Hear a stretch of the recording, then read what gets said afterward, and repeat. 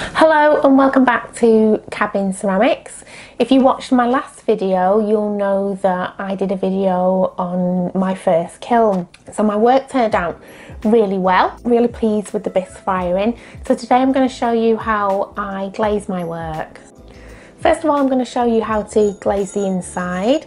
So I'm going to be using some transparent glaze. This is from Pottery Crafts. They do some really nice um, glazes.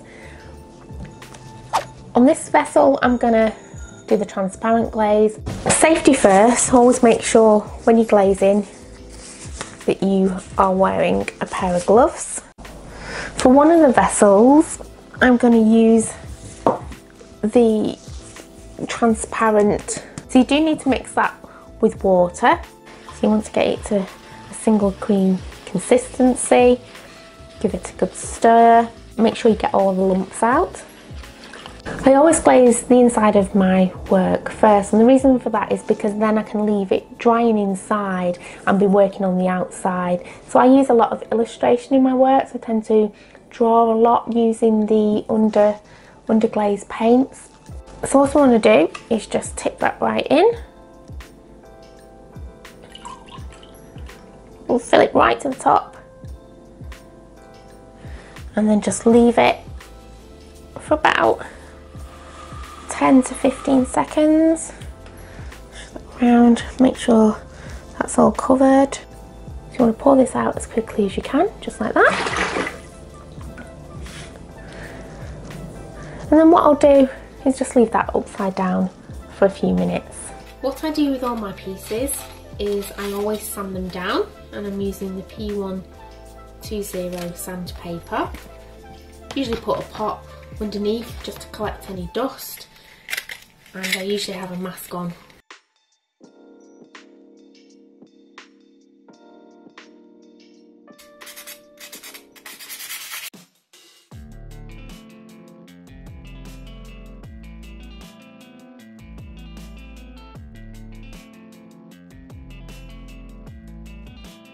have a little bit of an experiment with this one. I have no idea if it's going to turn out.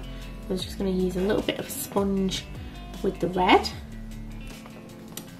and just wipe that across the print. Let's see what that looks like. Hmm.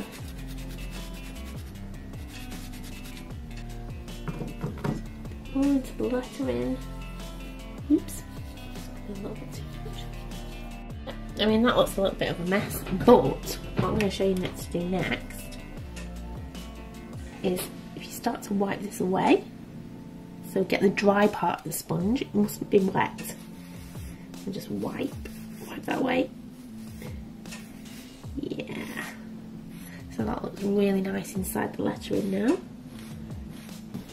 I'm also going to use the Pottery Craft Transparent Brush on Glaze onto these lovely Christmas ornaments.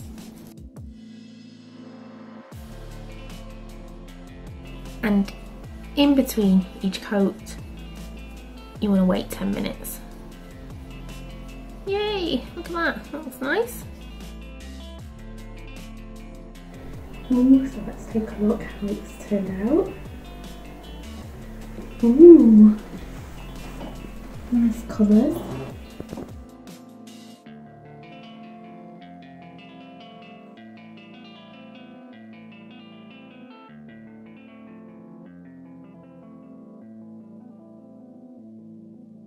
These pieces are fired overnight. It's my first glaze firing in my new kiln. I've decided to call the kiln Kimmy the Kiln and that's because I like the TV programme Unbreakable. So look, look how shiny everything's come out. I'm really, really pleased with everything. Can you see that there? Okay, so the transparent glaze from Pottery Crafts looks fab so shiny, so lovely. If you are new to my channel, hit the subscribe button and I'll see you in the next video. Oh, and the next video is going to be on ceramic jewellery making. So I don't know if you can see that there. I'm going to show you how to make these pendants and these lovely earrings. Okay, thanks for watching. Bye for now.